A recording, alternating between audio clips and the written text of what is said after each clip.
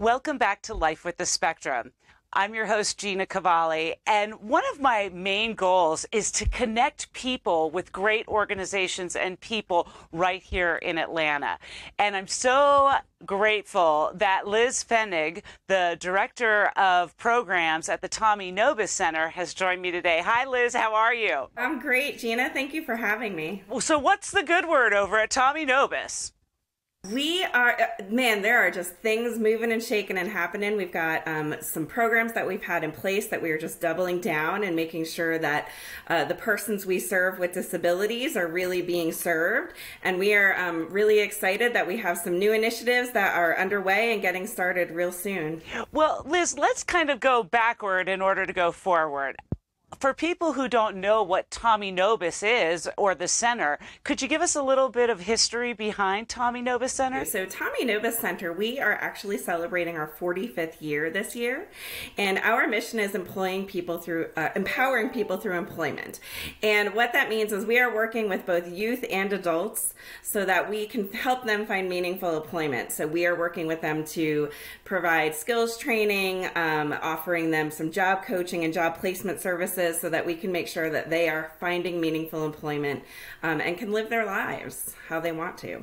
And Tommy Nobis, why everyone might think of the name is because Tommy Nobis was an Atlanta Falcon. Correct. Yes. So 45 years ago, we were founded by three people uh, Joyce Slaughter, Bobby Knopf, and of course Tommy Nobis. And so Joyce and uh, Slaughter had a daughter who had a disability, and Bobby Knopf was a special education teacher. And the two of them joined together to uh, identify ways that they can serve persons with disabilities after high school. And Tommy Nobis has had such a huge passion for working with people with disabilities that it was just a natural coupling that he joined, um, and they all came together to start the Tommy Nobis Center. Liz, uh, how does the Tommy Nobis Center actually work with people to become more employable? Yeah, so one of our biggest programs that we have right now is our youth services, and it's actually called EYES, which is short for Early Youth Employment Services. And it's a twofold program. So during the school year, we actually have very highly trained instructors who are going into all of the local schools um, in here in Metro Atlanta, and they are providing curriculum that's focused on uh, readying our youth, so our high school students, for employment once they complete high school school. And then when we have our school breaks, so for instance, February break, spring break, and then of course during the summer, we offer um, a very immersive and robust program where students can come every single day to our program and they have the opportunity to not only learn some educational components, but then they're also trained on different work skills. Um, and they just have a blast at the same time. You know, no, no kid wants to spend their summer break or spring break learning and just being, you know, going to school the whole time. And so we make it in a way that it's super exciting and, and fun for our students to come every single day. And from what I understand through a mutual friend, they actually get paid for it, don't they? Yes. So students who come on site to our um, actual Tommy Nobis Center facility uh, this past summer, they were working every afternoon for a couple of hours and they did earn a paycheck with some of the work they were doing. How terrific is that? And where do the instructors come from again? So all of our instructors at least have a bachelor's degree. Um, many of them are, are uh, trained and educated in special education. So some of them have come from the special education field right. um, and just have a passion working with the students that we uh, offer services to.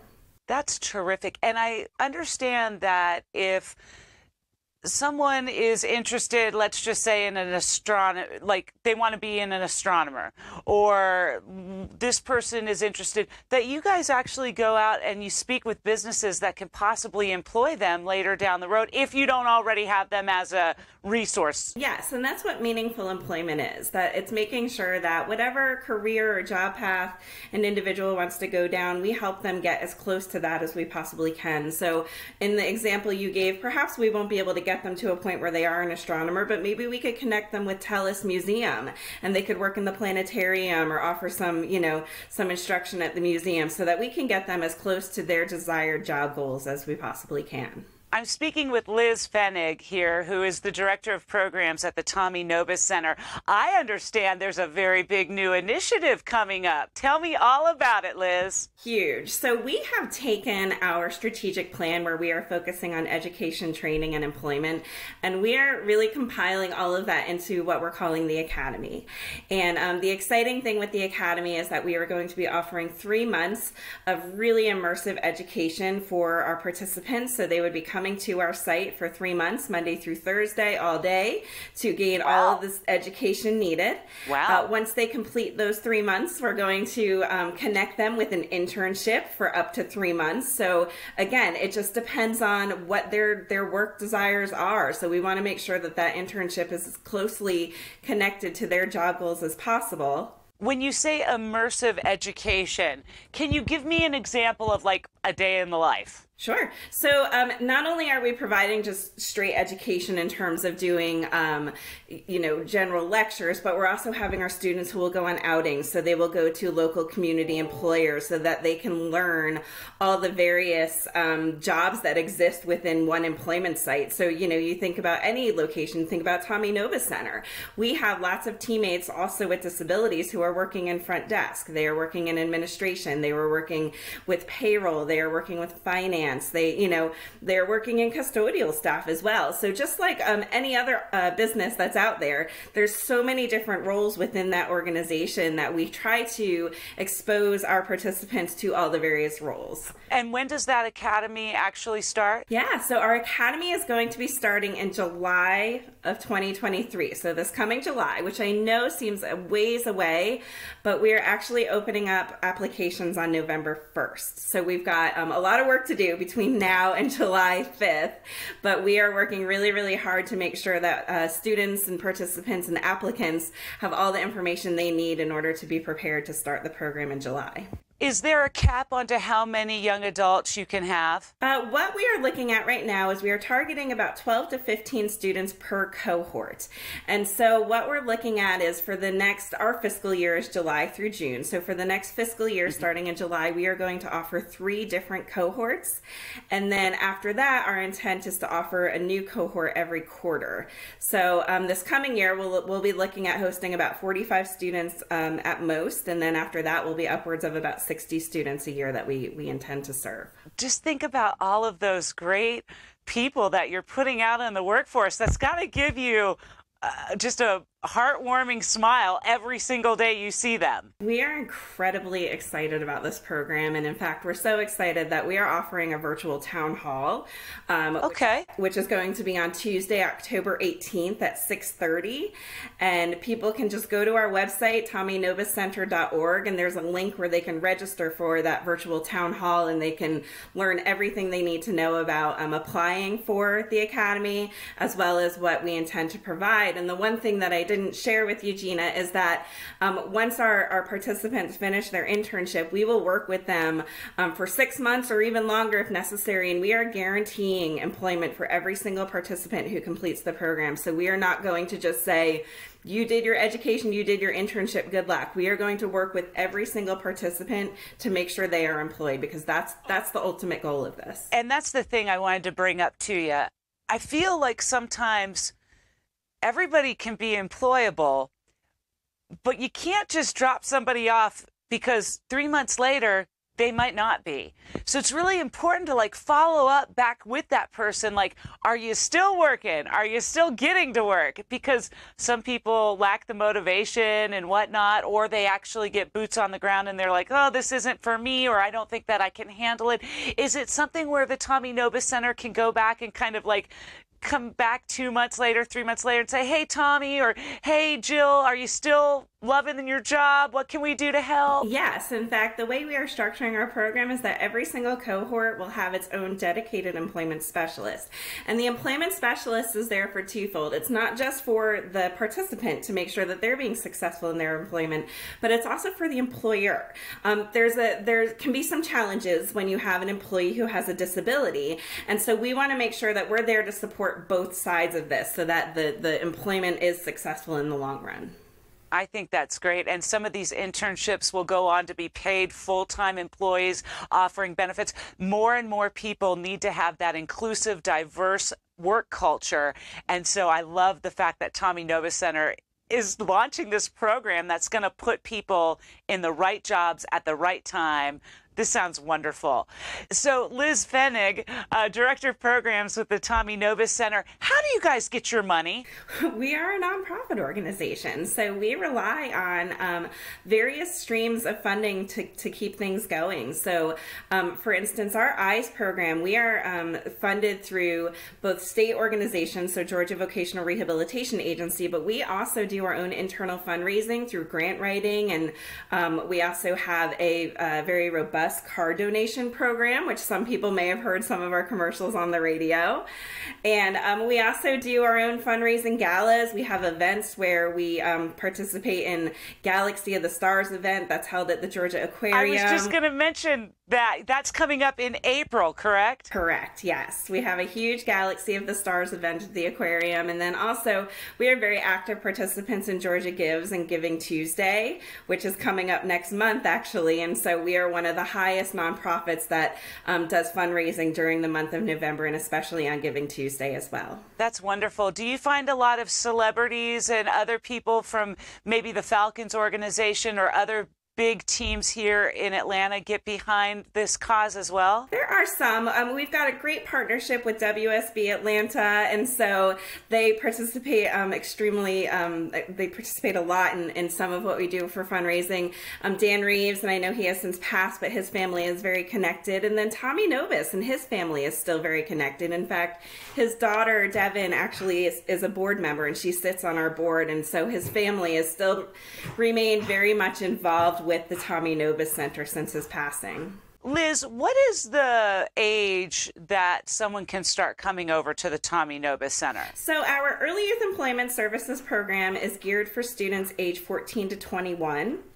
Um, okay. But we also serve adults, and even with the academy, we are serving young adults, and we're not really putting an age limit on there because we want to make sure that if somebody feels that they're appropriate for the program, we want them to apply. We don't want them to think that because I'm a year older than the age cap that they shouldn't apply for the program. We want them to go ahead and, and we want to be able to consider them for this program as well. Liz Pfennig, which is the director of programs over at the Tommy Nobis Center. Can people find you on socials as well? Are you are you guys in social media and showing maybe videos of people on the job or what people can expect? Absolutely. We have a very um, active social media presence through all of the platforms, be it Facebook, which I know is old school for us old people, um, but, but, then Twitter and Instagram as well. So we um, we are very active. We actually um, are posting pretty much daily on all of the events and activities that we do within Tommy Nobis Center. The Tommy Nobis Center celebrating 45 years of empowerment. What would you say is because you're there at the center right now? What would you say is the best part of your day? Um, changing lives. I've got to be honest with you. You know, we've got an incredible culture at Tommy Nobis Center, and we believe in um, we believe in our mission. Every single person that I work with is mission driven, and every single day when we come into work, it's because we all believe in the mission and, and helping people and empowering people through employment. And we know that there is power in having a job. We know that there is um, giving people a sense of purpose being able to wake up every day and go to work. And and um, when you have a disability it's, it just means that much more to you as well. And so as an organization i just can't speak uh, more highly about the mission that we hold. And every single person that i work with is driving towards that mission so that we can change lives every day you know, to go with the best part of your day, there's always got to be a downside too. Has there ever been a person that maybe you couldn't place or that really tried so hard and then just just couldn't do it. There are, and you know, and you probably know very well, as many of some of your um, viewers know as well is that there are some disabilities where perhaps they may not be able to work and they may not be um, able to hold down a job. But you know, there, there are options and other uh, programs that are out there that are available to give people meaningful um, days. So uh, if people are involved in the Comp or Now waiver, there are programs such as Community Access Group where they can be amongst peers and have social interactions and still have a purpose every single day. The Tommy Nobis Center, it seems you guys do so many wonderful things for so many people. And I love the fact that you listen to what the young adults say. And if they want to do this, then you try to partner with an organization to get them in. The world of Coca Cola, I would imagine, is a good one to partner with. Any home based uh, Georgia company, Home Depot, Emory Delta, the, these are places that people can go and get jobs. And and go on and get benefits too, which is important because over 200,000 people are living with aging parents. They have to be able to take care of themselves once those parents are gone. Correct, correct. And that's a, a, an incredible call to action, Gina, if I'm being honest with you. With our academy and with the internships and with the job placements that we intend to do, that's a great call to action for our local employers because we will be looking for employments and com- uh, uh sites and companies who are willing to host our students for their internship and then look at them for potentially hiring them, as you had mentioned. And, and you know, in a in a world where DE and I, diversity, equity, and inclusion, is kind of the buzzword, yes. and all these organizations and corporations are really focusing on diversity, equity, and inclusion, we have a great opportunity, and we are poised to help corporations meet those goals and not just meet those goals, but really support them in a way that they're successful in meeting those goals. Because we have, we're going to have a, a group of participants who are going to come out of our program are going to be highly trained, um, but not just are they highly trained, they're going to have support so that they're successful and the employment site is successful as well. That's the whole key is success on both sides of the coin. I really love this. So one more time about the vocational academy that starts in July, but you're going to to have a town hall when? We are having a town hall Tuesday, October 18th at 6.30 and it's a virtual town hall and uh, anybody who's interested in joining can register but just by going to our website tommynobiscenter.org and there'll be a drop down where they can view all the information on the academy and register to attend the virtual town hall as well and then some younger kids can also get in on the summer programs that you have there, and you can view them all on the website as well, correct, Liz? Everything is there, yes. You can go to our EYES link, which is Early Youth Employment Services, and we have opportunities where we have our February break camp, we're going to do a spring break camp, and then, of course, summer as well. Oh, wow. I didn't realize you had that many camps along with the summer program. Yep. Oh, even better. Talk about opportunities for young people to really start like their journey. You have to start thinking about it now, you know? Exactly, exactly. Liz Pfennig, which is the director of programs over at the Tommy Nobis Center. Uh, Liz, one more time with the car donations, can they get that information as well on the website? Everything is there at TommyNobisCenter.org, and there's even an opportunity if you do have a vehicle to donate. You just fill out an online form, and our staff will call directly, and we handle all of the hard work. So if the vehicle is sitting in your driveway and you can't even get it to turn over and run, or it doesn't have any tires on it, we will send tow trucks out to, to pick up that vehicle and take everything off of your hands. We take all of the work off of you. All we need is a title from your end. Isn't that wonderful? And then what happens? So the vehicle then then goes on to either scrapped for parts or auction or whatnot, and then Tommy Nobis gets the money. Gets the money, yep. And it's a tax write off as well. So it's a win win for everybody. it's a win win for everyone. And socials, one more time. How can people get in touch with you on socials? Yep. You just look up Tommy Nobis Center on either Facebook, Twitter, thumbs up, or Instagram. We're all there. Yep very active on social media. I love it. The Tommy Nobis Center has been around for 45 years here in Atlanta, Georgia. And I have to think that there are other organizations just like this where you might be living too. So it's really important to hit Google. And Liz, do you know of any right off the top of your head in other cities or states that might be doing something very similar to what you're doing? So Goodwill is um, a, another active participant in assisting persons with disabilities through employment. And so Goodwill is a great nationwide company, so that's something that um, different uh, persons could look up if they were interested in pursuing some opportunities through them. we just got lucky that Tommy Nobis decided with two other people to find this great organization that continues to help people with challenges and disabilities find work and meaningful work and employment um, to go on and just you know there's something to be said about when you're doing something that you love or and just doing something every day that gives you purpose, you have a reason to get up. You have a reason to get in the shower. You have a reason to make lunch every single day. And I think that we forget about that when it comes to our friends with challenges and disabilities. So what you guys are doing is so, so good. Thank you. Thank you. We love doing it and we love our mission. Liz Pfennig, the Director of Programs over at the Tommy Nobis Center. Once again, give them a like, a share, a comment. Make sure you're finding them on social media and more importantly, using them for your family in the, in the coming months. That virtual town hall is October 18th. You can get it at tommynobis.org. And then, of course, all of the different camps. I did not know, Liz, that that there were camps during spring break and whatnot, and then, of course, in the summer. Yes. Yep. We're so excited to be serving our students, and our building just comes alive when we have our participants um, just in the building and running around. It's it's an amazing thing. Thank you so much, Liz, for all of your hard work and for everything that the Tommy Nobis Center is doing. Remember to find them at tommynobis.org. Gina, thank you so much. It's so exciting to be able to highlight everything that we're doing and the lives that we're changing, and I really appreciate this opportunity. As we continue to navigate our journeys in this crazy thing called life, we want you to like, comment, share, and most of all, subscribe to the show below. I think you'll find that our shows have resources and tools that you can kind of plug into for whatever you and your family are going through at the moment. And until next time, we live life with the spectrum. See ya.